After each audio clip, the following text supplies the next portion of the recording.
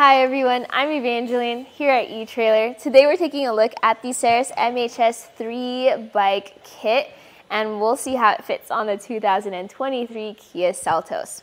Right off the bat, I'd have to say that this isn't the best fit for the Seltos, with the Seltos being a smaller SUV and this bike rack being a super heavy duty bike rack.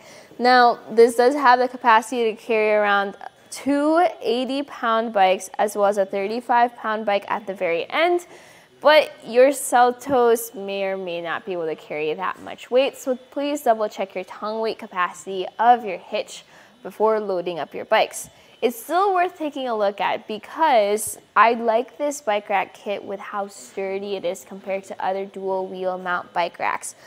A lot of engineering is put into place to make sure that your bike has a really good fit on the rack and as little movement as possible. Now there are some things to consider too though, like how when you tilt this rack away, there's a lot of weight coming down and also because of the length of the rack and the low height of the hitch receiver, depending on your handlebars, you may or may not be able to get full access to our hatch. With our mountain bike here, this is as high as our hatch door goes. We're still able to grab whatever we might need, but I wouldn't rest the full weight of the door against the handlebars, so just be careful with that. Bringing this back up, it snaps into place, and now you are ready to drive. So that's pretty much the main concept of the bike rack on the Seltos. You also have to remember this will take up a lot of length behind your car, 46 inches from our bumper to the end of the rack. Fortunately, with the Seltos being a smaller SUV, doesn't take up much space anyways, so you will have a better chance inside of your small garages, but still worth taking a measurement to double check. Now, as for how do bikes fit onto the rack, well, this fits a good variety of bikes. Whether you have your heavy, your two heavy electric bikes, you have your mountain bikes, you have your different style frames, this has zero frame contact. It holds onto the bike by the front and the rear wheels. When you want to take the bike off, you go over to the rear wheel because you want to start with the strap. This strap is adding that extra, extra sturdiness to the bike. Once this is off, I like to just toss it over to the side so it doesn't get caught up in the spokes. And then I'm gonna do my special trick here where I pull on the mast and that way it makes it so much easier to press that lever and then we can drop that cradle all the way down to the ground because when you have a heavy electric bike, the last thing you want to do is to lift the bike up. This allows you to roll the bike in whichever direction you prefer. Not the same as using the ramp, but still, you don't have to get a ramp added onto this for the Seltos. This doesn't sit that high up off the ground. We're gonna grab the bike and just put it over here to the side for now so that we can take a closer look at the bike rack. Now for tire width, the maximum width is to be up to 5 inches. And if you do have a thinner road bike tire, that's fine too. There's that thin groove for that. The strap will work nonetheless. The strap can also adjust back and forth for different wheelbases. The maximum wheelbase being up to 53 inches. And then you can also adjust for different tire sizes with those cradles.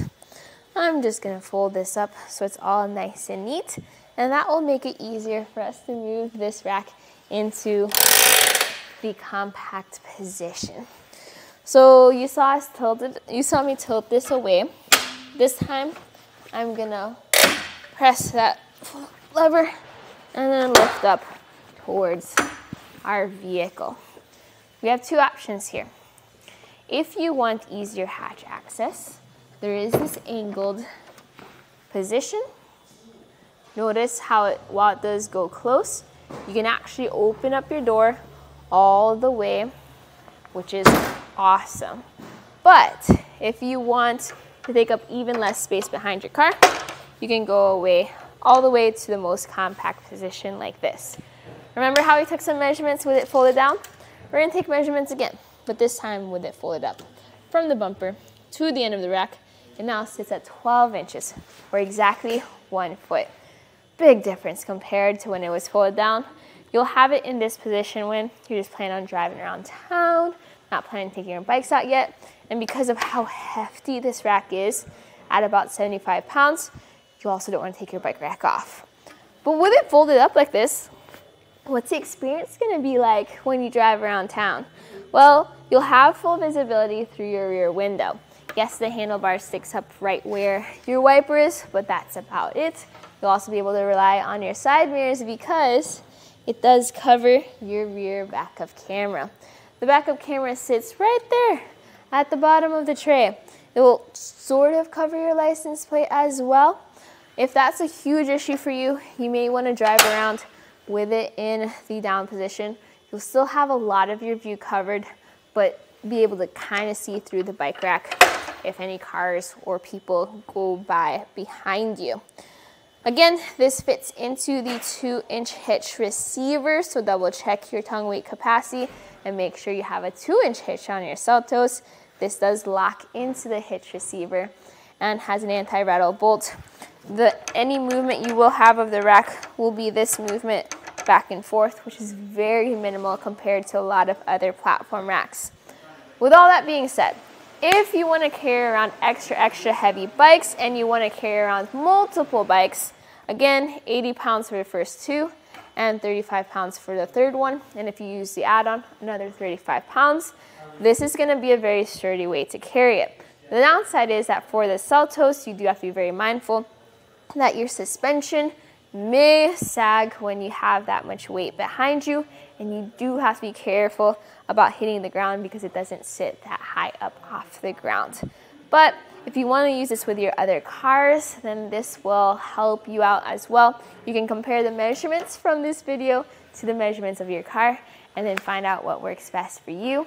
An alternative for you if you do want to carry around three or four bikes and something much lighter weighted, then check out the Hollywood Racks Destination 4, a very different style of bike rack, but a very good pair with the Seltos.